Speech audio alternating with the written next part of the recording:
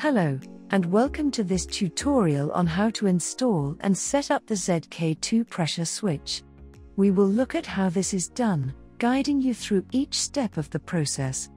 In this video, we will cover the following topics. First, we'll look at how to install the ZK2 pressure switch onto the ZK2 body and attach the connecting cable.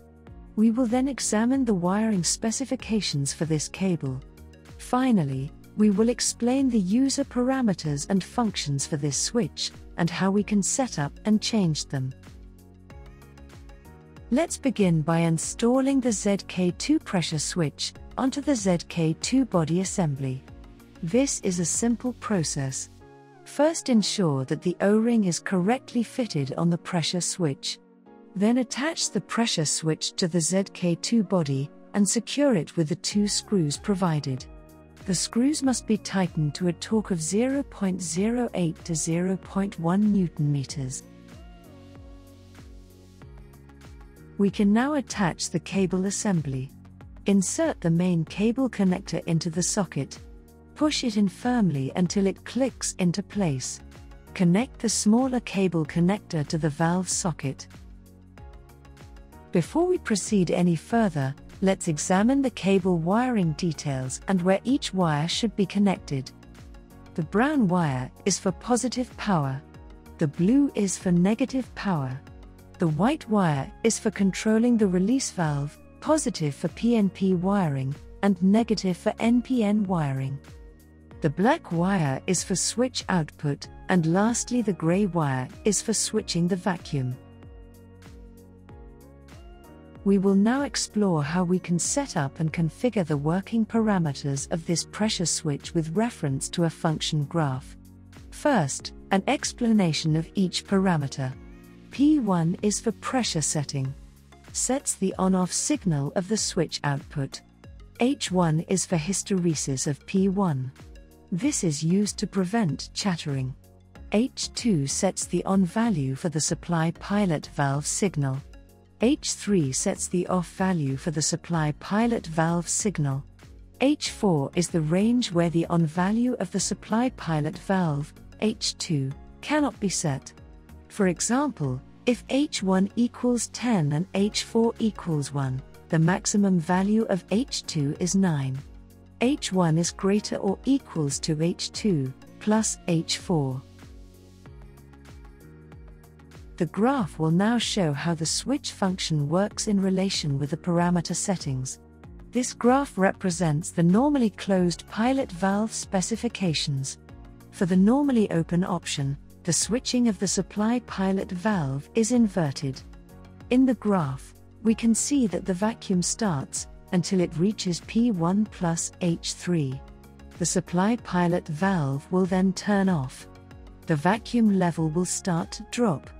When the vacuum level reaches P1 plus H2, the supply pilot valve will turn on, and vacuum will continue, controlled by the switching and the parameters. Now, for changing the parameters on this device. In measurement mode for P1, press the S button once. The set values will be displayed. To change the values, press the up button to increase the value, and the down button to decrease it. For quick continuous changes, hold down the button. Short single button presses make single digit changes.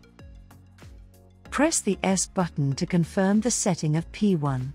The display now shows H1 and its set value. Once again, the up and down keys increase and decrease the set value. Press the S button to confirm the setting of H1 the display now shows H2 and its set value. Once again, the up and down buttons increase and decrease the set value. We will now look at some of the functions available and how to set them. The first is for unit selection. Press the S button for 2 seconds or longer to display F0. Press S again for the uni display, which allows you to use the arrow buttons to toggle through the different units. PA is kilopascal, megapascal, millimeters of mercury, inches of mercury, psi, bar, and kilogram force per square centimeter. While in the function selection mode, we can set up the output mode. This is done by using the arrow buttons to navigate to F1. Press the S button for the output mode, which has a set value of HYS. The setting for the output type can be accessed by pressing the S button. The output type shows that it is set on 1P, which is for normal output. This can be toggled to 1N, which is for reverse output, by pressing the arrow buttons. Pressing the S button again shows the P1 parameter. The set value of this can also be changed here by using the arrow buttons. Also, the H1 parameter can be shown and changed in the same way. Use the arrow buttons in function select mode to display F2 for the out2 settings. Press the S button for the H2 parameter, the set value for this can be changed by the arrow buttons, as we have previously seen. Press the S button to save changes and to display the next parameter, H3. Again, the, the set value can be changed and saved as before. Press the S button for the H4 parameter.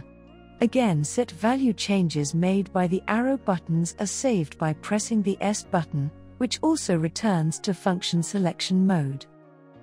This concludes our tutorial. Please consult the ZK2 operation manual for details. Thank you for watching.